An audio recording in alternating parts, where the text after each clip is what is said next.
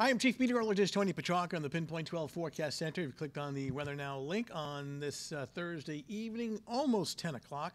Looking at live pictures um, down at Easton's Beach in Newport. So far, the visibility not too bad, though I do expect uh, dense fog later on this evening and overnight. In fact, it wouldn't even surprise me if a dense fog advisory is issued later on. We don't have one right now, but there's so much humidity in the air. That high humidity not only promoting the low clouds and fog, but helping to fuel some areas of sprinkles and some uh, rain showers, light rain showers passing through some areas right now. Note the visibility, at least at the 10 o'clock hour, really not, or the 9 o'clock hour, really not too bad at this point. But these numbers will be dropping down overnight into very early uh, on Friday morning. So, uh, once again, uh, kind of murky start on Friday. Look at the high temps today. Even with the mainly cloudy skies, we were able to top out in the upper 70s to even 80 in Taunton.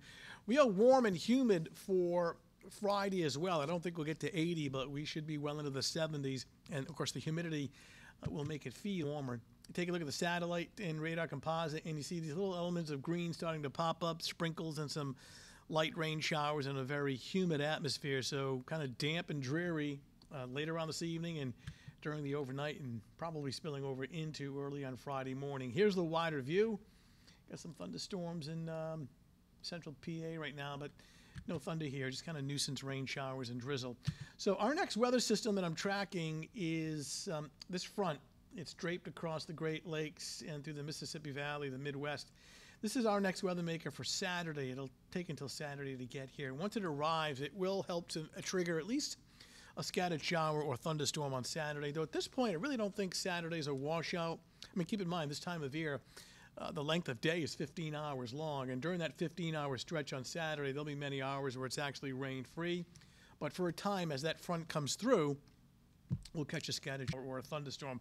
What the front is doing is really separating two air masses the high dew points, the high humidity shaded in green, and behind the front, very dry, low dew point air, very refreshing air across the northern plains. This is actually arriving Saturday night and Sunday. Sunday is very nice and refreshing. But all this green, these high dew points, uh, tropical air sticking around now through at least uh, Saturday afternoon. So let's get in real close. And we're going to walk you through it hour by hour. This is 11 o'clock on your Thursday night. Low clouds, fog, scattered showers. And look at this on um, 7 a.m. We've got some showers early in the morning. Temperatures are already warm in the upper 60s, very humid. This is 7 a.m uh, 10, 11 o'clock in the morning. They're pulling away. Notice during the afternoon you don't see as much green.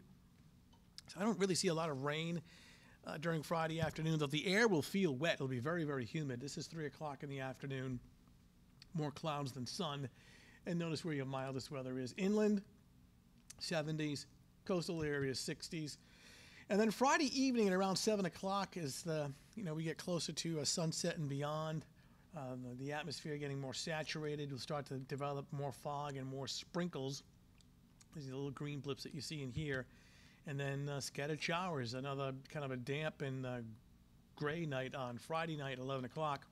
Though temperature is very mild. I mean, 11 o'clock at night, it's close to 70 in some areas. So for your uh, Friday morning, damp gray fog, drizzle and showers, temperature starting off in the upper 60s. I don't really see much in the way of rain during Friday afternoon. I mean, I wouldn't rule out a shower. I just think it's mainly rain free. Though it is cloudy, uh, warm, and humid.